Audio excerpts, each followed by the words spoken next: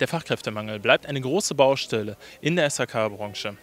Die Peach-Gruppe hat als Großhandelsunternehmen Industrie und Handwerk eingeladen, um auf diesen besonderen Berufszweig aufmerksam zu machen mit der Berufsmesse Chance for You.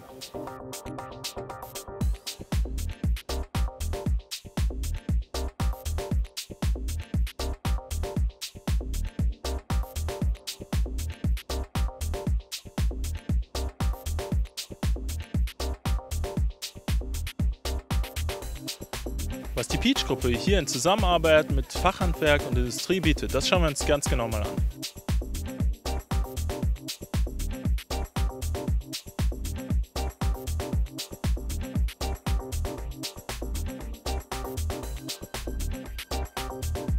Ja, ich stehe mit Matthias Klane. Herr Klane, was wird dem Auszubildenden hier geboten? Was wird dem Besucher hier auf der Messe geboten? Ja, hier auf der Messe führen wir ähm, sowohl das Fachhandwerk als auch verschiedene äh, Branchenorganisationen mit geflüchteten Personen zusammen. Das Ganze machen wir zum zweiten Mal in der sogenannten Chance for You Berufsmesse, die wir 2019 schon das erste Mal durchgeführt haben und hier heute in Ahaus das zweite Mal durchführen. Wer ist dann daran beteiligt? Sie sind ja nicht alleine hier, Sie haben Unterstützung von verschiedenen Fachpartnern.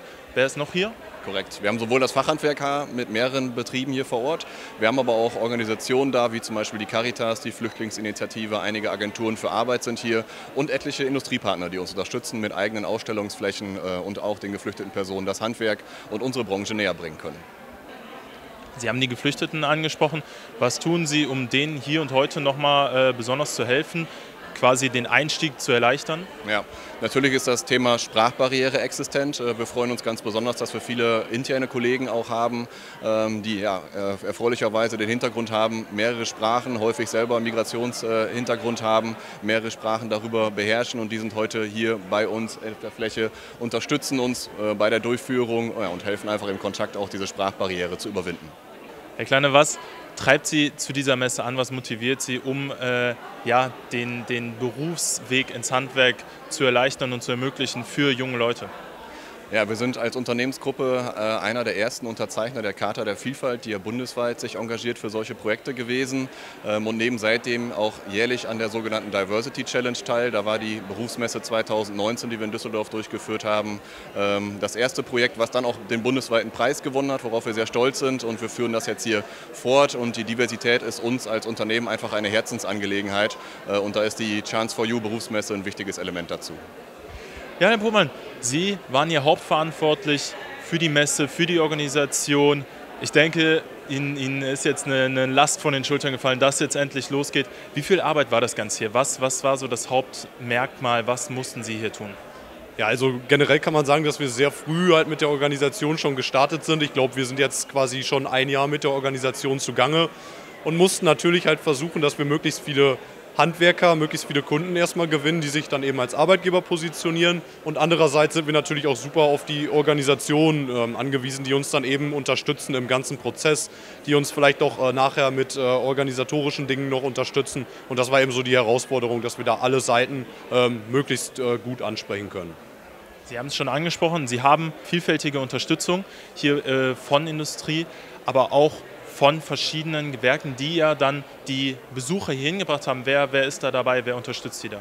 Also das sind größtenteils sind das ähm, Organisationen aus dem Umfeld, die viel auch mit ähm, Flüchtlingen zusammenarbeiten, beispielsweise Arbeitsagenturen, Caritas, ähm, irgendwelche Integrationspunkte für Flüchtlinge und die haben wir halt eben alle angesprochen, um halt so eben auch den Kontakt an die Zielgruppe ähm, herzustellen. Was ist dann für Sie persönlich das Ziel? Was, was soll diese Berufsmesse am Ende des Tages bringen? Also letztendlich geht es halt darum, dass wir eben ans Handwerk, wo ja wirklich der ähm, Arbeitskräftemangel akut ist, dass wir da eben möglichst viel ähm, Kontakt äh, verknüpfen, sodass im besten Fall halt nachher wirklich da, egal ob Ausbildungsverhältnisse, Arbeitsverhältnisse oder Praktikumsplätze generiert werden können. Hier auf der Messe sind 13 Handwerksunternehmen, die die Peach-Gruppe unterstützen. Ich stehe jetzt mit Nina. Nina, was bewegt euch hier zu sein? Was war bei euch die Motivation, hier an der Messe teilzunehmen? Also für uns ist natürlich wichtig, dass wir einfach Nachwuchs bekommen. Das als allererstes natürlich. Außerdem wollen wir natürlich auch einfach als Unternehmen präsent sein. Wir möchten auch Jugendlichen mit einer Sprachbarriere eventuell die Möglichkeit geben, vielleicht ein Praktikum zu machen und einfach mal in den Beruf reinzuschauen, weil es ist einfach so abwechslungsreich bei uns und man kann so viel Spaß haben in dieser Branche. Ja, da möchte man einfach mehr Leuten die Chance geben und ähm, ja, denen einen Einblick bei uns in die Firma geben. Wenn wir den Markt und die Lage betrachten, ähm, der Fachkräftemangel immer noch sehr präsent. Wie wichtig ist dann so eine Messe und der Kontakt zu möglichen Auszubildenden? Nachwuchs ist für uns natürlich super wichtig. Wir arbeiten in einer zukunftsorientierten Branche. Die nächsten Jahre über ähm, gibt es super viel Arbeit bei uns und ähm, daher ist Nachwuchs natürlich immer gewünscht. Ich stehe jetzt hier mit zwei Berufsschullehrerinnen. Schön, dass Sie hier sind, schön, dass Sie mit uns reden. Wie haben Sie von der Messe erfahren? Warum, warum sind Sie heute hier? Ähm, wir haben tatsächlich eine Mail erhalten in der Schule, die wurde als Rundmail verschickt, wo wir dann von der Messe gehört haben und es wurde so gezielt an unseren Bildungsgang weitergeleitet. Wir haben hauptsächlich internationale Förderklassen und äh, fanden das sehr, sehr spannend für diese, für diese Schülerklientel, dass sie sich dort informieren können. Ja. Wie wichtig war Ihnen dann, dass Sie mit Ihren Schülern heute hier sind? Also was, was haben Sie Ihren Schülern vielleicht im Vorhinein mitgegeben? Ja, wir fanden das sehr wichtig, dass unsere Schüler hier hinkommen, ähm, um erst einmal auch die verschiedenen Ausbildungsberufe überhaupt kennenzulernen. Die sind teilweise noch nicht so lange in Deutschland, kennen auch ähm, ja, die unterschiedlichen Begrifflichkeiten schon gar nicht. Und ähm, ich glaube, es ist wichtig, auch mal ins Gespräch zu kommen, weil viele ähm, oder ja, unsere Schüler, glaube ich, viel Potenzial haben auch. Und äh, ja, deswegen finde ich das sehr wichtig, dass hier die ähm, Schüler da in Kommunikation mit den Ausbildungsbetrieben gehen. Wie ist Ihr erster Eindruck von der Messe? Wie, wie finden Ihre Schülerinnen und Schüler das Ganze hier? Die finden es grundsätzlich spannend. Also wir haben jetzt gerade schon einige gesprochen. Es ist trotzdem festzustellen, dass die Hemmschwelle sehr, sehr groß ist, sich zu überwinden und äh, Menschen gezielt anzusprechen, gezielte Fragen zu stellen. Ähm, einfach aufgrund dessen, dass einige teilweise erst seit drei, vier Monaten in Deutschland leben und auch noch nicht sehr gut Deutsch sprechen. Aber ja, das ist, äh, ansonsten wird es sehr gut angenommen. Ich finde es äh, sehr vielfältig im handwerklichen Bereich aufgestellt und äh, auf jeden Fall gut, dass man viele Ansprechpartner hat und auch, dass viele Übersetzer vor Ort sind und äh, unterstützen. Ja. Auch einige Industriepartner sind hier und unterstützen die Messe, um mit den Auszubildenden in Kontakt zu treten. Herr Wiemeyer von Obentrop, was bewegt Sie hier zu sein? Was ist die Intention dahinter? Ja, der Fachkräftemangel ist äh, in der Branche angekommen, überall ähm, unumgänglich.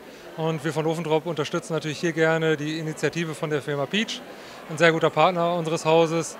Und deswegen sind wir heute nach Aarhus gekommen mit einem kleinen Messestand, um auch hier eben insbesondere auch im Bereich der Geflüchteten das Ganze zu unterstützen und hoffen, dass wir hier der Branche äh, ein bisschen helfen können, indem wir ähm, eben auf die Branche aufmerksam machen, die Vielfältigkeit, äh, die Digitalisierung in der Branche aufzuzeigen, um einfach junge äh, Fachkräfte, zukünftige Fachkräfte, wie gesagt, für das SAK äh, Handwerk für die SAK-Branche zu begeistern.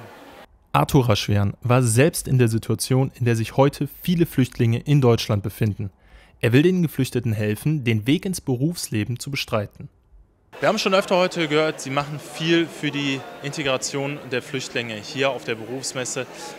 Wie, wie sieht da der, der genaue Fahrplan aus? Was, was tun Sie da?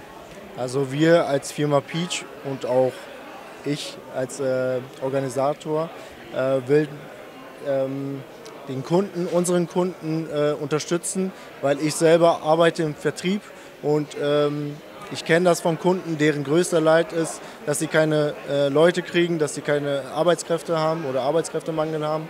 Und äh, durch diese Messe wollen wir die unterstützen, weil es profitiert jeder davon, sowohl wir als auch die Handwerker, aber auch die äh, Teilnehmer, die heute äh, vor Ort sind, also die Geflüchteten und die äh, Menschen, die mit Migrationshintergrund äh, heute in Deutschland sind und hier vor Ort sind. Ähm, und wir wollen die äh, ans Mann bringen, kann man so sagen, an die Kunden bringen, dass sie ähm, mit den Kunden sprechen, groben äh, Bewerbungsgespräch kann man das nennen, um auch ein bisschen die Interesse von den Menschen zu wecken. Das ist unser Ziel. Inwieweit unterstützen Sie dann die, die Geflüchteten, die Besucher hier auf der Messe mit verschiedenen ja, Barrieren, die eventuell da sind? Was, was tun Sie dafür? Ähm, wir haben die ganzen Organisationen, wie zum Beispiel Caritas, Arbeitsagentur, Jobcenter, äh, Ausländerbehörde eingeladen. Die sind auch vor Ort, die unterstützen uns bei der äh, Integration, also bei, äh, sage ich mal, ganze Papierkram, was, was danach äh, ablaufen wird, was danach passieren wird. Wir von der Firma Peach haben äh, sehr viele Dolmetscher heute, die äh, die Leute unterstützen werden. Unter anderem, äh, ich glaube, das sind 15 Sprachen, die wir heute dolmetschen. Und äh, das zeigt auch nochmal, wie äh, vielfältig und äh, wie viele Leute oder wie viele aus wie vielen Nationen die Firma Peach besteht. Also ich würde schon sagen, es sind mehr als ein Drittel der Unternehmensgruppe Peach, die einen Migrationshintergrund haben oder eine andere Muttersprache haben. Können Sie ungefähr eine Zahl sagen, wie viele äh, Besucher die Messe heute erwartet und was bedeutet Ihnen das Ganze dann? Ihnen persönlich vielleicht auch, wie viel von der Firma Peach hier getan wird, um geflüchteten Menschen zu helfen und einen Arbeitsplatz zu ermöglichen? Also ich kann sagen, dass Firma Peach alles tut, um die Handwerker, um alle zu unterstützen, die jetzt vor Ort sind, äh, auch Geflüchteten und auch im Nachhinein. Äh, ich würde sagen, also unserer Schätzung nach sollten zwischen 50 und äh, 80 Teilnehmer sein. Wir sind jetzt weit über 100 Teilnehmer, das freut mich sehr. Das ist auch für unsere Handwerker, unsere Kunden wichtig, äh, weil je mehr Interessenten die haben, desto höher ist die Chance, dass die Arbeitskräfte, äh, also Arbeitskräftemangel weniger wird und äh, die Leute für, also als Nachwuchs kriegen, sage ich mal. Genau. Und für Sie persönlich, was, was bedeutet Ihnen das? Für mich persönlich, ich unterstütze äh, Leute, die das gleiche Problem haben wie ich äh, vor einigen Jahren. Ich bin auch vor neun Jahren geflüchtet und äh, bin jetzt seit fünf Jahren bei Unternehmensgruppe Peach. Habe vorher mein Praktikum gemacht, zweiwöchige, und meine Ausbildung abgeschlossen und jetzt bin ich seit äh, fünf Jahren bei Firma Peach.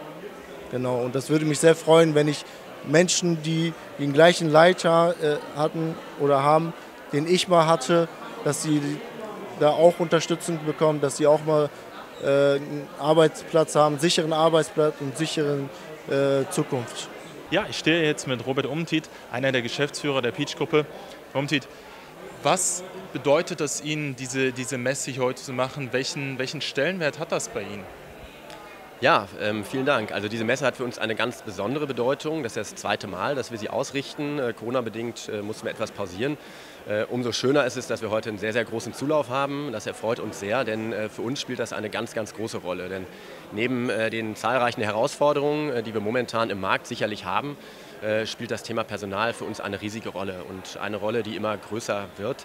Denn äh, durch das Thema ähm, Generationswechsel einerseits im Handwerk, aber vor allem auch durch den demografischen Wandel sehen wir, dass es immer schwieriger wird und herausfordernder, gute Fachkräfte, aber insgesamt überhaupt Personal zu finden, zu begeistern und zu halten. Und insofern ähm, spielt diese Rolle für uns, äh, diese Messe für uns eine riesige Rolle. Sie sprechen es an, die, die Marktsituation ist eine relativ schwierige, eine relativ herausfordernde. Was tun Sie als Peach-Gruppe, um die Auszubildenden heute oder die möglichen Auszubildenden von dem Berufsfeld zu überzeugen? Ja, das spielt eine ganz fundamentale Rolle, denn ähm, wir sind wirklich davon überzeugt, ähm, dass wir zusammen mit den Industriepartnern und dem Fachhandwerk im Dreiklang, im dreistufigen Vertrieb einen wesentlichen Beitrag äh, dazu tragen können, ähm, den Klimawandel einzudämmen und die Klimawende hinzubekommen. Ähm, denn wir sehen es gerade in diesem Jahr, die Nachfrage nach Wärmepumpen, nach ähm, regenerativer Energie spielt eine riesige Rolle und da spielen wir natürlich einen wesentlichen Part. Und ähm, das zu vermitteln und ähm, ja, den Mitarbeitern, aber vor allem auch den Kandidaten, den Interessenten zu vermitteln, das ist unsere Aufgabe und ich glaube, da kann man wirklich begeistern, denn es ist eine hochspannende Rolle, es ist ähm, ein Umfeld, was äh, stetig im Wandel sich befindet, was natürlich Herausforderungen hat, was aber auch ähm, ganz, ganz ähm, tolle Möglichkeiten bietet, sich selbst zu beteiligen und Dinge zu bewegen. Und ähm, ja, dafür stehen wir gemeinsam mit unseren Partnern, Dinge voranzubringen, nach vorne zu bringen. Und dafür möchten wir heute auch ja, die Interessenten, die hier sind, begeistern. Was für einen Wunsch haben Sie quasi für die Zukunft? Ähm, nicht unbedingt an die Auszubildenden, sondern insgesamt vielleicht an die, an die äh, Lage der Branche, des Marktes. Wie, wie kann es weitergehen? Es ist sehr schwierig mit dem GEG jetzt, Wohnungsbaugipfel. Welchen Wunsch haben Sie, dass die Ziele, die sich die Bundesregierung und alle weiteren stecken, dass die auch erreicht werden in den nächsten Jahren? Ja, mein Wunsch ist und äh, bleibt zunächst einmal, dass wir eine gewisse Sicherheit wieder bekommen und Transparenz dahingehend, was die Rahmenbedingungen sind. Und da ist es, glaube ich, ein gutes Zeichen, dass das GEG e jetzt wirklich umgesetzt wurde, nachdem wir dort in so einer gewissen Hängepartie waren. Das hat natürlich dazu geführt, dass Verunsicherung herrschte bei den Endkunden, ob sie jetzt investieren, ob später, äh, wie die Förderlandschaft aussieht. Und da ist mein Wunsch, dass man politisch eine Gradlinigkeit hat und äh, die entsprechenden Rahmenbedingungen geschaffen werden. Denn der Bedarf ist da. Ähm, wir als ähm, Industrie, Handwerk und Großhandel stehen in den Startlöchern und können dort gut unterstützen. Aber das wäre mein Wunsch, dass man das auch ähm, kommuniziert, Klarheit schafft, wie die Rahmenbedingungen sind. Gleichzeitig glaube ich, dass wir gemeinsam in diesem dreistufigen Vertrieb an den Markt gehen müssen, sowohl was Arbeitskräfte angeht, als auch ähm, was Endkundenbedarfe angeht und aufklären müssen über die Möglichkeiten, die bestehen, was ähm, Förderung angeht, ähm, was unsere Kompetenzen angeht. Und dann sehe ich uns sehr, sehr gut aufgestellt für die Zukunft.